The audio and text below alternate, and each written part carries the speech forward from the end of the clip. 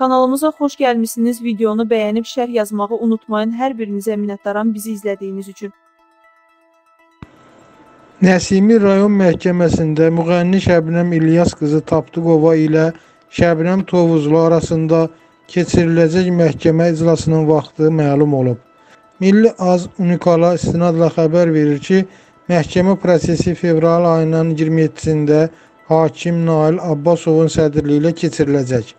Məhkəmədə iddiaçı qismində Şəbnəm Tapdıq, cavabdeh qismində isə Şəbnəm Tovuzlu tanınıb. Şəbnəm Tapdıq məhkəməyə müraciət etməsini adla deyil, qarşı tərəfin ona atdığı şər və böhtanla əlaqələndirib. Qeyd edək ki, məhkəmə prosesi ötən ilin dekabrından başlasa da, Şəbnəm Tovuzlunun prosesə gəlməməsi səbəbindən baxış iclası təyin edilmirdi.